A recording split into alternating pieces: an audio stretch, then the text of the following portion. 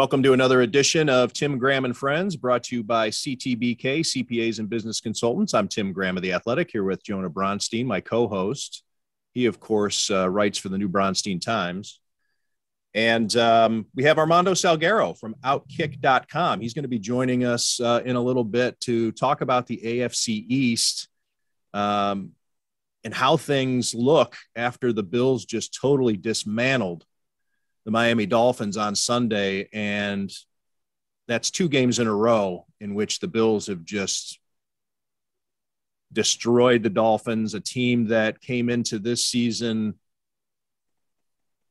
with expectations of competing for the division title, but it looks like there's too big of a gap between uh, the Bills and the Dolphins, even though both are one and one uh, right now. Uh, Jonah, the Bills have Washington coming into town on Sunday. Um, what are what are your just your general thoughts on the Bills, where they stand after that disappointing loss to the Steelers, and then coming back with a, a statement game, at least on the defensive side of the ball, which seems odd to say. They did score five touchdowns, but the offense still looks shaky at times. Anyways, your general thoughts on these Bills? Well, I think it was a rather impressive result, which is an easy thing to say we win 35 to nothing. But the fact that they won going away and by such a large margin without getting a great game out of Josh Allen and not being so dependent on him to make all the plays, which was often the case when they won last year, is very encouraging, especially if you think maybe there's a situation with an injury or uh, quarantines, contact tracing, things that limit the Bills' passing game and ability to score a lot of points? Can they win in a different type of way? Uh, and just in general, that the defense has played well two games in a row. You know, they had a shutout game and a shutout half in the first game, and that's very encouraging that the defensive line and the front seven and really most all of the defense looks quite better than it was at this point last year. And if you combine that, if you can get the offense playing the way it was last year, then the Bills might really have a chance to be uh, the team that everybody coming out of the preseason thought that they were. They did beat up on a backup quarterback, and after that, a young quarterback that maybe wasn't prepared for their pressure schemes and things like that. But now you got two more games against backup quarterbacks. The Bills have an opportunity, at least in the immediate short term, for more impressive results and to separate record wise a little bit from the rest of the teams in the division. Yeah, the Bills uh, seem to have a favorable schedule coming up here and not any gimmies by any stretch, but uh, the opportunity, like you say, uh, to pull ahead and uh, get a comfortable lead within the division. Um, yeah, Taylor Heinicke with Washington uh, now playing for uh, Ryan Fitzpatrick. Uh, I don't think Ryan Fitzpatrick is anybody you fear if he were coming back to Orchard Park. And but Taylor Heinicke, I don't know about yeah, that.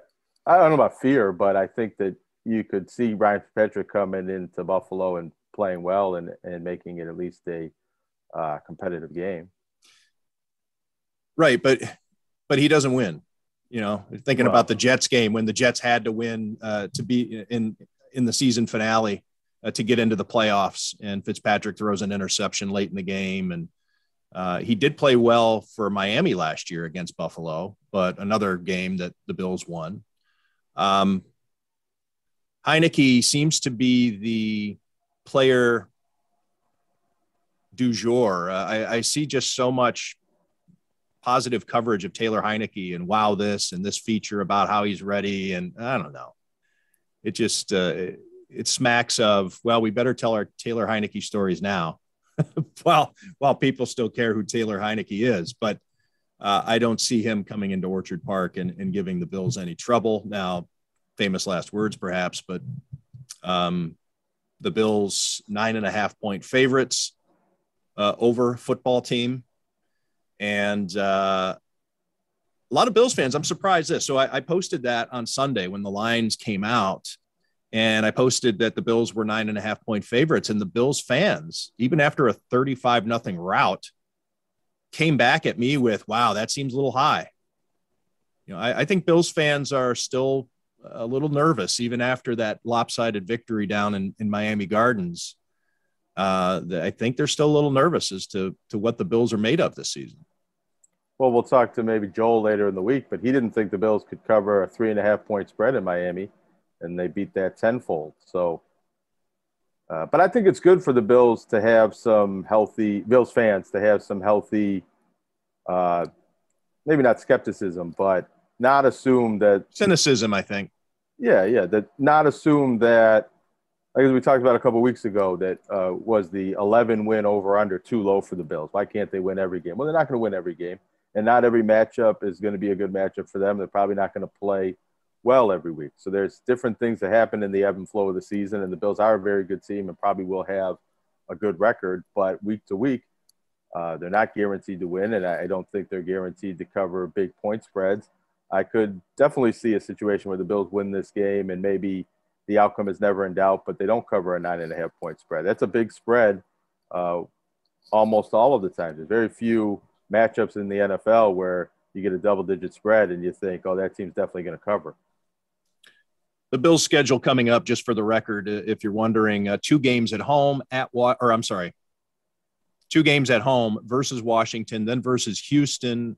Uh, Tyrod Taylor was just put on injured reserve today, so that means he is definitely not going to be available uh, for a return match uh, against his uh, former team. And then a couple of prime time games at Kansas City, at Tennessee before the bye week. Um, and yeah, you could get some speed knots there um, against those two teams, especially in their stadiums uh, under the under the spotlight. Uh, but then out of the bye week, the Bills host Miami on Halloween at Jacksonville. Jacksonville has not looked good at the New York Jets. You got to figure that's a win. Uh, and then uh, they host Indianapolis. Uh, now we're getting towards uh, Thanksgiving and that game at New Orleans. So um, down the stretch, by the way, uh, New England at Tampa versus Carolina at New England versus Atlanta versus Jets. Um, I think that's that, that's a favorable schedule uh, for the Bills with the way that shakes out uh, those uh, those two primetime games back to back. Uh, they'll be done and out of the way, and then uh, a lot of hay can be made uh, through November and December. Um, and I guess we need to say January now because of this 17 game season. Um, the Bills will play two regular season games in January. Um, See, Any other thoughts? What's well, that? Think, uh, maybe you're drinking the Kool Aid a little bit too much, and some of these fans tweeting you have a more uh, reasoned perspective about the Bills and this, how this season can go. You got them winning 15 games already and guaranteed to cover against Washington this week. well, I mean, playing New England twice in December, uh, those will be tough games. New England will be a lot more rounded. Bill Belichick will know his team a lot more. Uh, Mac Jones will have a lot of snaps under his belt by then. I think that getting uh, at Mac Jones uh, earlier in the season would be uh, more beneficial. Uh, so I don't think that uh, they're sweeping New England. Um, they may, but Atlanta just isn't good. Two games against the Jets. Um, New Orleans, I'm not a Jameis Winston fan, even though New Orleans did have the big win on opening day. It's a new Jameis, so he's got new eyes. I'm not a you know, Jacksonville. They get to play Miami again, a team that they've beaten by 65 points uh, combined over the last two uh, matches. So, no, I just uh, obviously at Tampa Bay is going to be difficult. So, yeah, there's some games in there that that'll be tough. Um, but as it stands right now, after two weeks and what we've seen from some of these opponents, uh, uh, I think uh, that if the Bills can get into a rhythm on on offense, of course, they need to do that. But if they can, if they can find a semblance of that offense that they had last season, then yeah, I think they they breeze into the playoffs. I would like to see the teams coming up on their schedule give the Bills more competition and not just to make the games better. And it would have been fun if it was Ryan Fitzpatrick leading Washington in here and Tyrod Taylor the next week leading Houston in there. We're not going to see that. But you know, we know that the Bills can beat teams that don't belong on the field with them or that have backup quarterbacks or that can't, uh, that are at the bottom of the league. And if they have to, and if the schedule is loaded with those type of matchups and they play a lot of backup quarterbacks or a lot of teams that aren't at their best when they meet the Bills, that doesn't tell us a lot about how ultimately how good the Bills can be in the postseason. We've seen one maybe postseason type opponent so far against the Pittsburgh Steelers, and the Bills didn't win that game, and they played well in certain ways and they played poorly in other ways. So the games where the other team is, it's kind of like if you look at a college schedule, when you play in a lower division team, you don't learn too much about that team. If, if the playing a team from the Power Five, you don't learn quite as much about UB, but when they play teams that are more evenly matched, you learn a lot more. And so I don't know, I don't have the schedule in front of me like you did, but the games when we're not sure if the Bills are going to win the game or they aren't favored by too many points are when you really find out how good they are. For sure. And uh, we're going to break down the division here in a little bit with Armando Salguero of Outkick.com. Uh, he, of course, uh, covered the Miami Dolphins for three decades uh, before uh, taking his new gig as uh, senior NFL writer with Outkick.com. Uh, but he was at the game on Sunday and wrote multiple stories, not only from a Dolphins perspective, but also from a Bills perspective, perspective because he is a national NFL writer now. Uh, and he's going to have some thoughts uh, about the Dolphins and their rebuild and where it really puts them uh, in this AFC East race. I I thought that uh, they would be a lot more competitive, of course, on Sunday than they were. Um, what did you think about the Bills' ability to run the ball and commitment to running the ball? It's easier to do when you're playing from ahead, but you think they solved some of those issues that maybe arose after the first game? Well, it was a much better game for the offensive line, particularly from an error standpoint. I think only was there only one penalty. There was the Daryl Williams false start, uh, but those holding penalties went away. Um, Jon Feliciano, I thought, had a great game uh, in the, especially uh, when it came to running the ball. Um, yeah, they came together. I think though that the Dolphins to me seemed like a team that had quit uh, by the second quarter. Uh, they were going for it on fourth down, which is kind of a, men- a mentality that that is risky. Uh, they knew that the that the Bills' defense was so good that they needed to start going for it on fourth down quite early in the game. Uh, they went for it, uh, I think, twice in the first half on fourth down, and then they needed to do it twice again in the second half. Uh, didn't convert any of them. Um, so it, to me, it was just a team that was so desperate. It was like the end of the game in the second quarter. And so then it was going through the motions, and that obviously contributed to the Bills being able to score five touchdowns. Um, yeah, my sense was the game was over after the quarterback injury, and I was wondering. We could talk to Armando about this as well. If the next time you see the Dolphins, Deshaun Watson will be their quarterback the next time the Bills see that team. Yeah, we'll, we'll definitely ask Armando about that. He has uh, some inside thoughts on that. He covers the team and, and he knows all the, uh, you know, uh, you know all the different decision makers there and if if he's not talking to them at least knows they're thinking uh, on on that topic it'll be interesting a lot of quarterback injuries around the nfl are piling up uh, the houston texans uh, even without tyrod taylor are not going to put deshaun watson out on the field uh, but you have to think that that strengthens the texans um, leverage uh, teams need quarterbacks now more than they did a week ago uh, in general around the league and the Dolphins in particular. So if you have playoff aspirations, maybe you roll those dice and and give the Texans what they're asking for, which is a, a king's ransom for uh, Deshaun Watson. Um, well, my take on that, real quick, and let's yeah. put aside the criminal investigation because that's a real complicating factor, and maybe why this is going the way it is. But if Deshaun Watson is one of the five or six best quarterbacks in the league in a quarterback-driven league, and he's young, uh, yeah, the Houston Texans can hold out and exert their leverage, but they're really doing a disservice to all of the football fans and the league itself by letting one of the very best marquee players just idle away on their bench. And even when another quarterback hurt, gets hurt, he's not going to play. So he's not going to play in Houston. He's not going to play anywhere else because they're not going to trade him.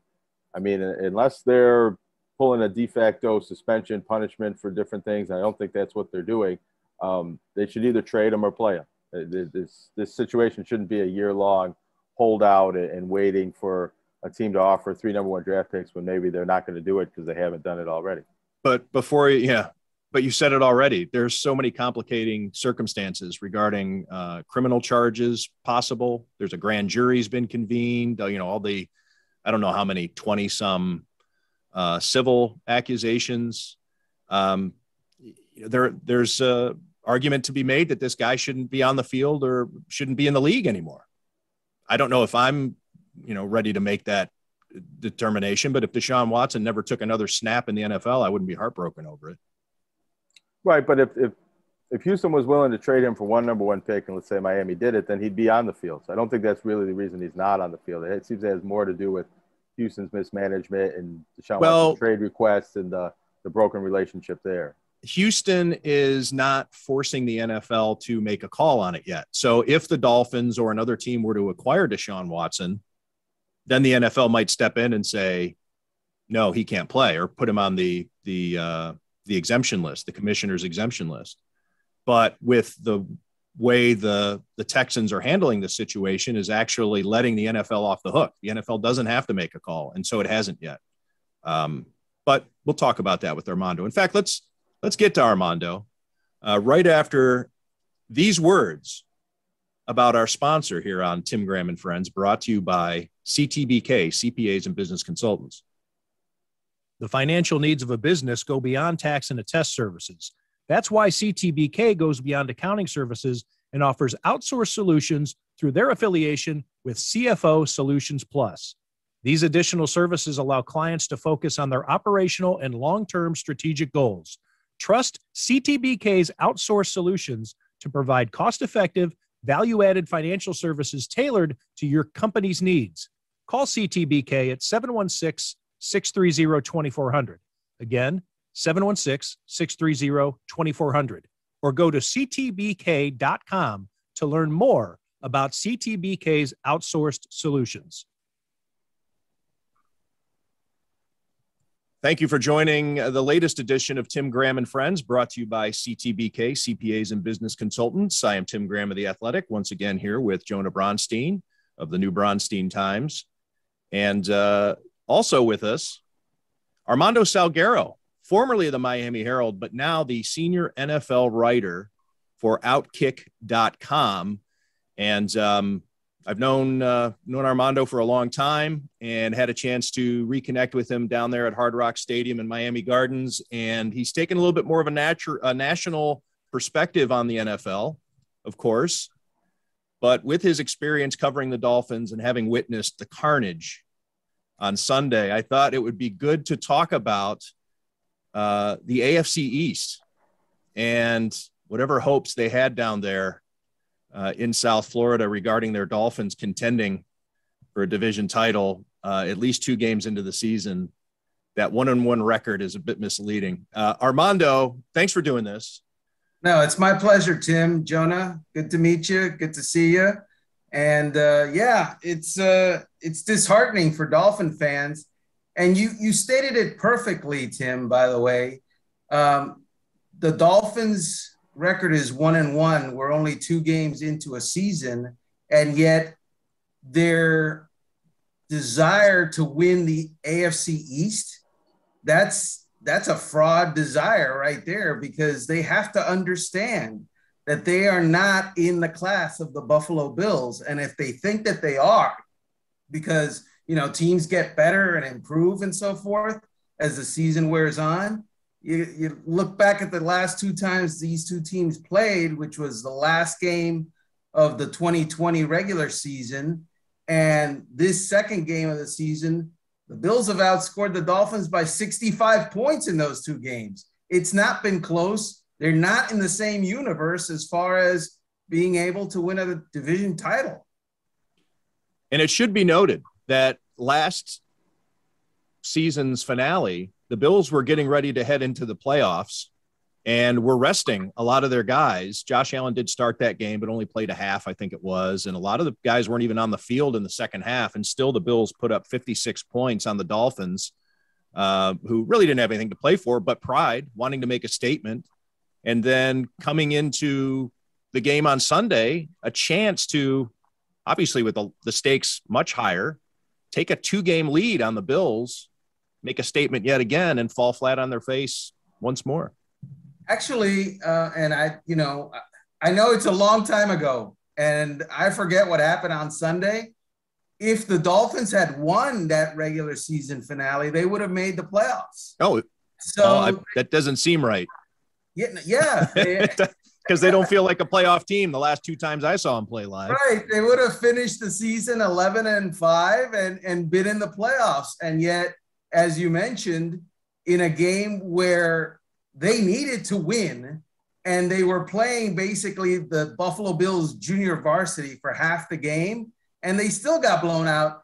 And amazingly, when the Bills backups were in the game, they outplayed the Miami Dolphins starters. Yeah, let me just take a look here uh, since I have the game book handy. The Bills um, actually scored 28 points in each half. So it didn't matter whether the starters were out there or the backups, they still put 28 points on the Dolphins. Uh, they, in the second half, outscored Miami 28 to 20. So they widened the lead uh, even with their backups uh, on the field. Uh, Armando, you know, you wrote a column, you wrote several pieces off of the game on Sunday uh, from both a Bills standpoint and a Dolphins standpoint uh, at outkick.com.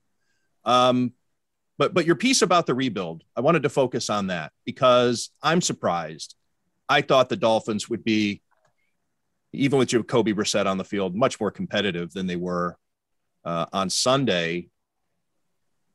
Where what what's the gaping hole here? What is the disconnect, I guess, between what we thought about the Dolphins two weeks ago versus what we think about them now, uh, and what they either do or do not have?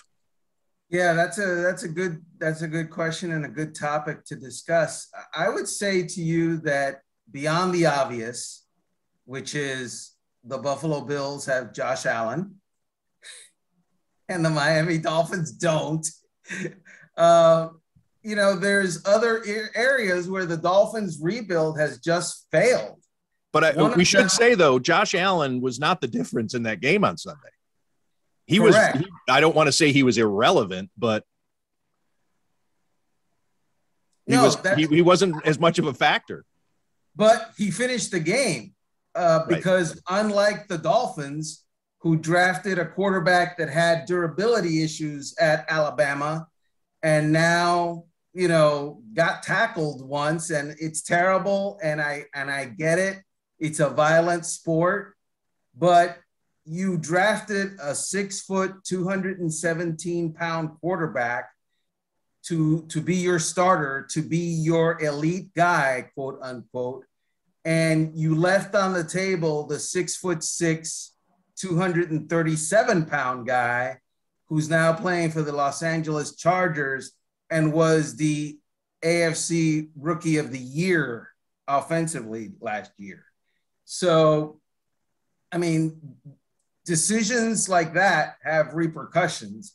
And we saw one of those repercussions last year, and we saw it again on Sunday where the smallish quarterback was not able to finish the game he started. Uh, beyond that, right? Um, the offensive line is a problem. Beyond that, they have no real running game. They haven't really invested in the running back room. Beyond that, uh, it's a team that spent a lot of resources on guys that, you know, for example, first round pick Noah Igbinoghene, he wasn't active for the Dolphins on Sunday and he's not been active at all this season. So if one of your first round picks from a year ago isn't good enough to be active for Sunday games, that's problematic and that speaks to your drafting and your personnel department. I'm going to drop this name on you for the second time in three days, uh, Armando, uh, because I enjoyed your reaction when I said it on on Sunday. But do you think it's time when you're talking about uh, the size uh, issues regarding uh, Tua Tagovailoa and the and the uh, punishment that he takes behind that offensive line. Is it time to reach out to Pat White and uh, do the do the story where we ask Pat White what he thinks uh, what uh, about Tua and what he's going through?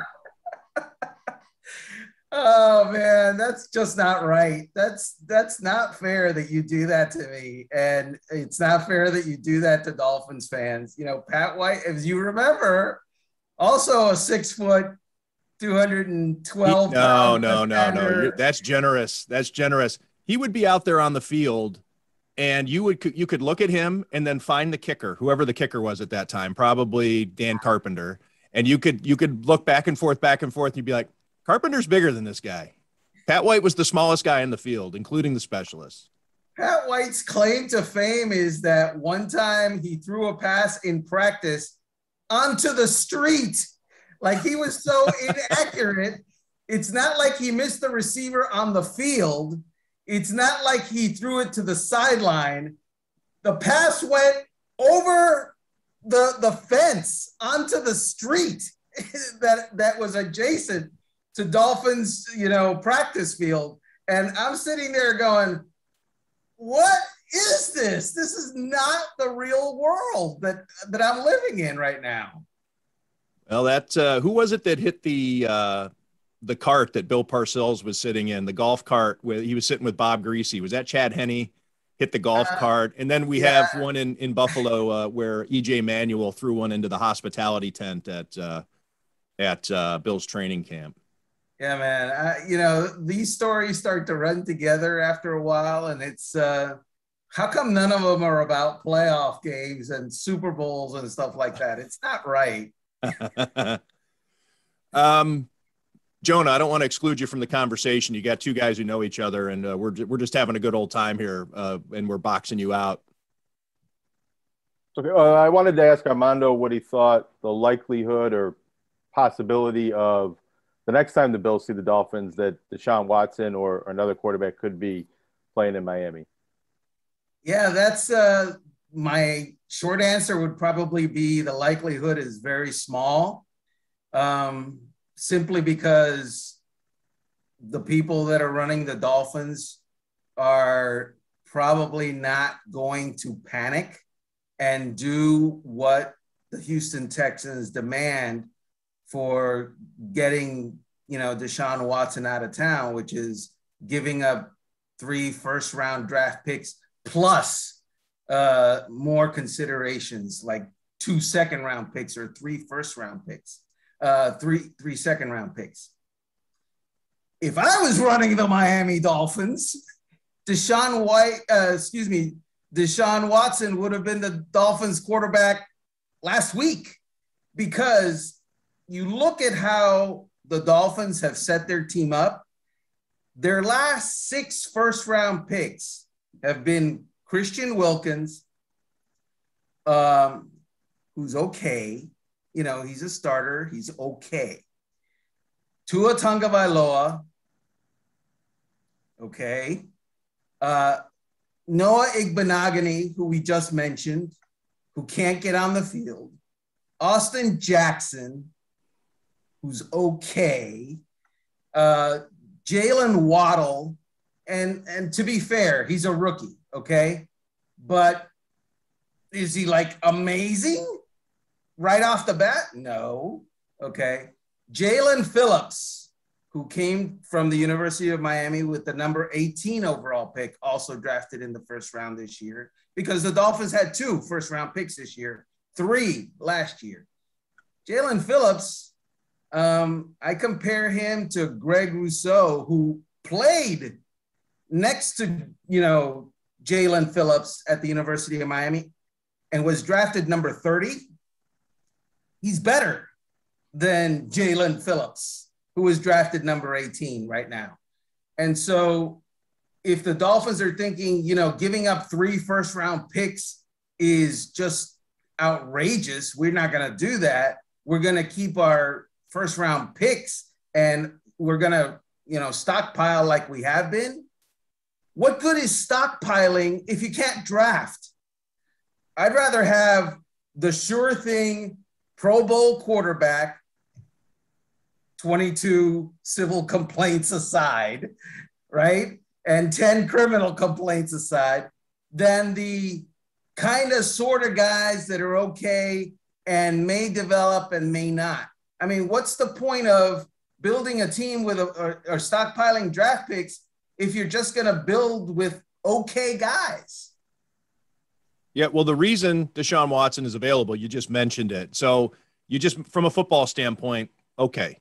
How do you reconcile, or how do you think the Dolphins are reconciling the criminal, the investigation aspect, the you know looking down the road and chalking up. There's going to be a suspension at some point. Uh, is he going to be serviceable?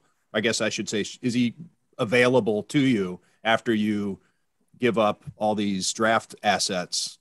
Where do you think the Dolphins are in that conversation? Well, clearly they're at a place where they're not comfortable doing what the Texans want.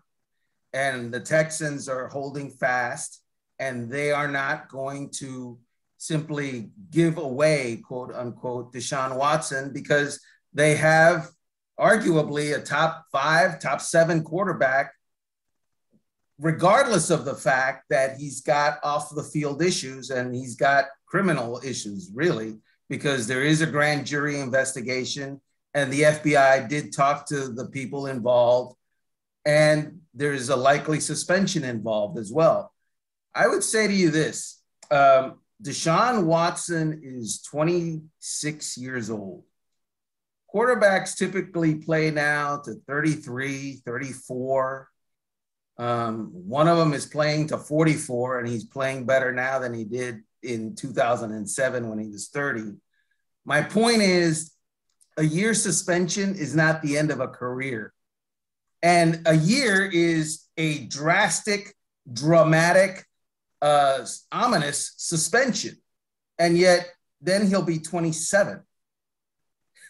So, so are you, on the one hand, going to handle the one year suspension and then have a 27 year old quarterback who is great? He's great. Or are you going to spend more time trying to develop Tua Tagovailoa for the next year or two and not know whether he's ever going to be great. You remember the quaint, uh, the quaint 2000s back in the aughts when teams uh, such as the Miami Dolphins were worried about PR crisis, uh, uh, that your player was smoking too much weed. Uh, you know, a little different than, uh, but yeah, it, there. we we just don't need this headache you know, with Ricky Williams or name name another player. Huh. But now teams, because the quarterback position is so vital and this is a big business, is uh, would be willing to go ahead and just take a guy who's suspended for a year. And I don't know. Do you think the world has just changed enough that that teams don't don't care about that that PR aspect anymore? Well, I don't think they care about the PR aspect because, the, by the way, this just in, the Dolphins aren't the only team that would love Deshaun Watson. Uh, multiple teams, as you know, reached out to the Houston Texans to, to try to lure Deshaun Watson to them. It was the Texans who said, no, that's not enough. You're not giving enough. But they were offering. And they're offering knowing that if the Texans say yes, he's coming. And that's the PR part of all of that. He's coming to your community. You're bringing a person who, you know, has 22 sexual abuse complaints civilly uh, that he's got to take care of, 10 of them criminal complaints. And so they're still doing it. The, the PR part of it, I was talking to someone the other day who was in the league, and he said, Yes, but what happens after he throws his first touchdown? What's about the PR then? What happens after he throws his 25th touchdown pass of a year or the 30th touchdown pass in a year? Is there going to be a PR crisis then? And the answer, I think, you know, obviously is no, there isn't, regardless of the fact that, you know, you did bring someone with some some bad history into your community. I want to ask you your thoughts on the Buffalo Bills then. Um, as uh, and you're actually wearing a hat that says "Outkick" on it. And I was going to say, with in, in your national senior writer hat, uh, your thoughts on the Bills, and um, quite frankly, it was nice to see you in the visiting uh, locker room there at Hard Rock Stadium. I, I, don't know how how often you've you've ventured into the uh, or into the the media room there. Right. Uh, no, that not often. Maybe for bowl games, but it was the winning locker room, and so obviously That's that's the direction that I was going to take. And this is how I see the Bills. It was a great response by the Bills, right? They had a terrible week, uh, the opening week, and then a terrible week after that, because I'm sure that Monday through Saturday of, you know, after losing to Pittsburgh was the outer ring of hell for Buffalo Bills organization and players. Having said that, they answered. It was great. They proved that you know we can deal with adversity. Uh, they are now aware that what they did last year doesn't matter. Uh, the Pittsburgh Steelers made them very aware, I would suppose, of that. And they are now aware that, you know, 2021 is going to be a fight for the most part, unless they play the Dolphins. But uh, this is how I view the Bills. They are they're a, a good team, a very good team even. I'm not sure that they are a great team. Um, uh, their offensive line needs work. Their secondary is is outstanding in the back end, but uh, you know Tre'Davious White and who else? Levi, you know, Levi's good, but he's not Tre'Davious White. So uh, the, the Gregory Rousseau thing is great. Epenesa developing is great. That helps. That helps a bunch. Um, but we'll see, man. Uh, you know, the NFL has a, a way of humbling everybody. And the Bills humbled the Dolphins. The Bills got some rough games this year and we'll see. Uh, I still think they are the class of the division, but that's not the goal, is it? The winning the division is not it. Not anymore, right? And so you got to have higher expectations. You got to have higher standards. I'm not sure that they're at those high standards quite yet. Did you think Gregory Rousseau would be able to make an impact as early as he has here in Buffalo? No, it's surprising and it speaks to the coaching that he's getting. You got to understand, this is a guy that opted out last year. And so he missed an entire year of playing and developing and getting coached. And the Bills still took him and they are developing him with a quickness. And that is impressive to me. What are some other things around the league, Armando, that that has your interest? Uh, maybe it's too early. You know that they they always say uh, the coach will say we don't really know what we're dealing with until October with a lot of teams uh, because your team needs to bounce back, needs to be humbled, like you say. Uh, you know that coaches uh, need need some time before they learn really what they have on their hands. But um, anything in particular that's that's standing out here after a couple of games? Well, we've got what Pete Rozelle wanted, right? We for generally we have a league that is a uh, you know there's a lot of equity in the league. There's a New New Orleans comes out and just destroys Green Bay. They humbled Green Bay, and right. guess what happened this week? They got humbled by Carolina improbably. Uh, you know, Kansas City lost to Baltimore, who lost their opener uh, to, to Las Vegas the Steelers last week, they they looked great against the Bills in the second half. Well, guess what? They lost, you know, their their very next week. So I don't know that the that we know if there or who the super team is, if there is a super team. I don't think it's the 2 0 Denver Broncos. No. Right? Uh, no. no, I really don't.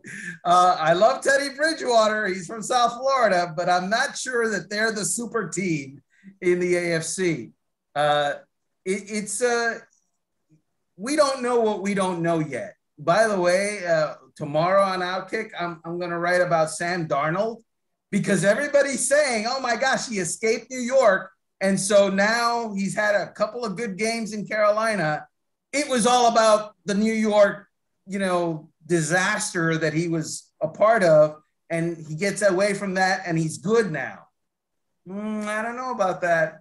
I'm not sure about that. It's a little early, I think. Um, just to just to note, uh, in the AFC, there are only two two and zero oh teams, as Armando suggested or uh, mentioned, I should say. Denver, one of them, the Las Vegas Raiders, the other one, but also only three zero oh and two teams. Everybody else is one and one, and it's a little you know more shuffled in the uh, in the NFC. There are a handful of teams that are still two and zero, but yeah, Raiders and Broncos, the only unbeaten teams after just two weeks. I don't. I, you couldn't have seen that. What uh, what do we have to look forward to on Outkick.com? Anything coming up that you want to tease, Armando? Well, uh, so I am going from you know week to week. The the the game that I'm really interested in, and my, it's got my my ears all perked up like a a happy German Shepherd, is uh, is the October third game in which Tampa Bay visits New England, and I just Tom Brady going back to New England uh, to show Bill Belichick what's what and who's who is just it's just delicious. I, I, I just am so excited about that game, and um, he's he's 499 yards away from breaking Drew Brees' all-time passing mark for yards. He might do it where? He might do it in New England. I don't know. We're not with this start he's off to. He's going to have to slow down to, to, to break it in New England. He might uh, he might get it within the next two games. Well, that's it. I mean, oh wait, that is two games from now. You're right. Yeah. I'm thinking that's three games from now. No, it is two games from now. Yeah. yeah okay. Well, it, yeah, it seems like he will. It's amazing. and it's uh and he'll probably uh and it'll be a pass to Rob Gronkowski that does it. And you know, I'm I'm sure that Tom Brady's not all, you know, locked up and and thinking death to the New England Patriots already because that guy is the most competitive player maybe that has existed in the NFL in the last 20 years. It's just, it's weird and it's wonderful. And I can understand why a guy like that wins seven, is it seven now? Seven or eight Super Bowls? And he still comes back hungry the next year to do it again. It's not human nature to do that. I know it's it, it just not normal for a person to have that much success and not be the least bit comfortable. Tom Brady has more NFL champ. Well, I can't say NFL championships. He has more Super Bowl titles than any team uh, in NFL history. Uh, one more than the New England Patriots because of obviously what he did last year with the Tampa Bay Buccaneers. But you think of those teams like the 49ers who had Montana and Young, or the Steelers who've you know have been great a handful of times uh, the dynasty in the 70s and then coming back again with uh, with Ben Roethlisberger and however what are they, six they've won. They've had three three coaches win Super Bowls, but add them all up and it's still not as many as Tom Brady. And I'm sure that your listeners, Tim, you know, most of them or many of them being Buffalo Bills fans, they hear the name Tom Brady and they cringe and it's ah that, that Brady. Ah. Yeah, I get it. You hate the guy because he wasn't yours. But there has to come a moment and you have to cross a line where you appreciate what a player is about. Like Dolphin fans should appreciate Josh Allen. Uh, I mean, that guy is a beast and in sort of like unhuman beastly ways. And I appreciate that I remember one of the games, you mentioned it in the press box the other day. Was it his rookie year where he's running around and, and, you know, some passes are going over there and some over here, but at the end of the game, one pass, he was one pass away from beating the Dolphins. True? He was, and Charles Clay dropped it. And it would have, you know, Charles Clay should have made the catch. Uh, but yeah, a really magnificent effort. Josh Allen scrambling around, trying to avoid the sack, knew he had to get it to the end zone. Finally, heaves it up there. Charles Clay drops it. That's the only time he's lost to the Dolphins. He's six and one all time against uh, Miami. and has, I think, three AFC Player of the Weeks uh, against the Dolphins. Uh, might be more. I think it's three, but uh, yeah, he's only played them. What is it now? Seven seven times. So he's played them seven times, and he's the AFC Player of the Week, half of them. Uh, and the one loss it should have been a win. Yeah. The, so the joke is that Josh Allen is a very rich man because he owns the Miami Dolphins. That's right. I don't remember where I saw it. I think I've I stole it once in my younger years too, before the internet and anybody could catch me. Somebody somebody wrote a lead about you know it says on page three of the New England Patriots media guide that Robert Kraft owns them or, or Victor Kiam owns them, but but it's really Dan Marino or something along those lines. And then I had I had the occasion. I just switched the names.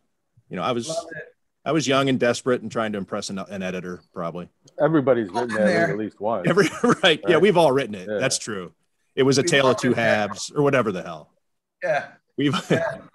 I've gotten to the point where I announce to people that I'm stealing their stuff. It's like, uh, you know, like someone the other day emailed me uh, about the Miami Hurricanes, right? Who once upon a time amazing, not so amazing anymore.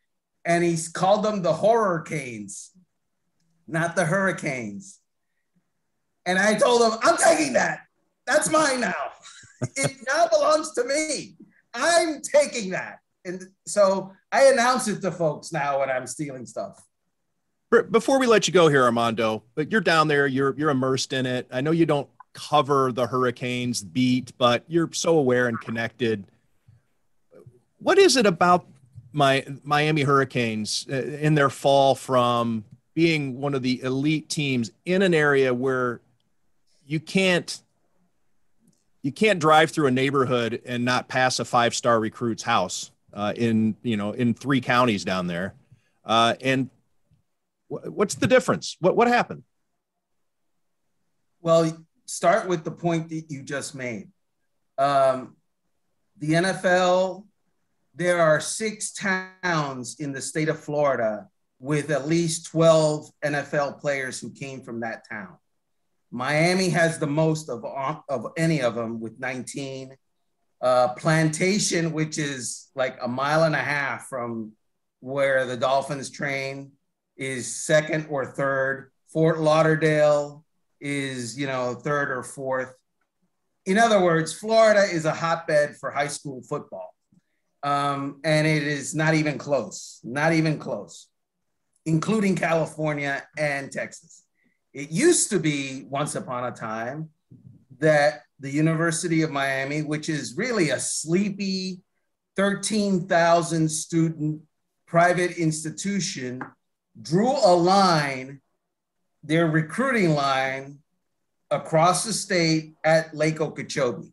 Everything Lake Okeechobee down, including Palm Beach, Broward, and Dade County, they're going to get the best players, meaning they were pretty darn good for a long time.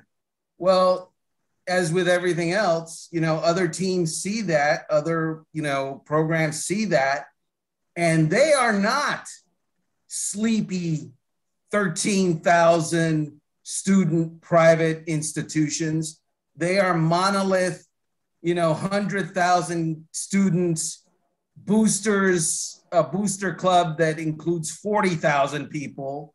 And they come into South Florida and they can recruit in various ways to where they can convince people to leave South Florida. So that's one thing. The other thing is the University of Miami. I'm not sure that the administration really values, uh, you know, football as much as it once did. Even when Jimmy Johnson was the coach, he had to fight to keep um, standards, academic standards at a certain level to where he could get great players. Uh, Miami fancies itself academically as the Stanford of the East, which is hogwash because it's not. But the standards are higher than, say, Florida or FSU or Alabama or you know Georgia, stuff like that. So it's harder to get players all of those things combined and the fact that they can't necessarily play, pay uh, both their coaching staffs, the staff, and maybe the players.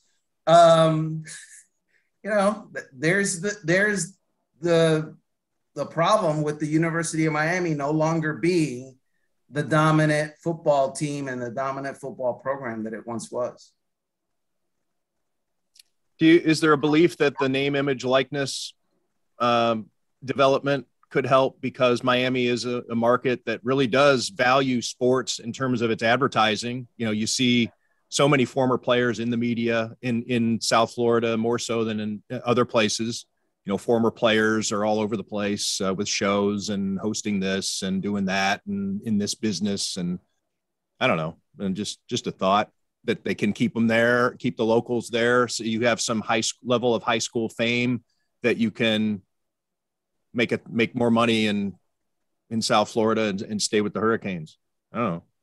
Um, maybe, but and I thought about that, and you might be right still based on what may happen down the road. But the counter to that is I saw what the Alabama quarterback, who's like in his first year starting, a million dollars or whatever. Yes. Yeah. Um, so no. yeah, they have car dealerships in uh, in Tuscaloosa too. A lot. Yeah. and uh, and it's not just you know Tuscaloosa; it's Birmingham and you know Mobile. Look, the bottom line is uh, Miami is not the program in the state anymore. That's Florida. Uh, Alabama is the program in the nation and right. and you know the next one down isn't Miami. so so there's that. Armando, I've enjoyed this. Uh, thanks uh, for for giving me part of your afternoon and uh, coming on the show. And um, whatever you need out of me, don't hesitate to ask. Thank you, sir. I appreciate it, Tim. Jonah, good talking to you. Good meeting you, and uh, you guys have have a great time going forward let me plug Armando uh, one more time. Armando Salguero is the uh, national NFL. No, wait, let me get it right. Let me let me say it correctly. I'm kind of guessing right now because I don't want to look down at my note. Senior NFL writer for yeah. Outkick.com. Senior NFL writer for Outkick.com. Not a yeah. columnist, not a reporter, not um, just a just a gas bag. Yeah. Senior NFL writer for Outkick.com.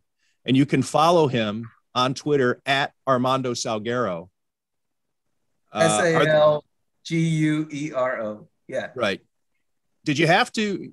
That's everybody's dream is just to have your name as a Twitter handle. Did you have to jump on that early? Are there other Armando Salgueros out there? Actually, there are other Armando Salgueros, and it's like shocking to me. Uh, you know, it, it is what it is, bro. Not a lot of them in Buffalo, though. So there's that. No, no, or Western you, New York. When you travel, when you travel to Western New York once a year, you don't have a, a favorite uh, Cuban joint up here that you like to hit. I uh, don't know. No, no, I really don't. But and and by the way, I you know, I I love Western New York. It's awesome, right?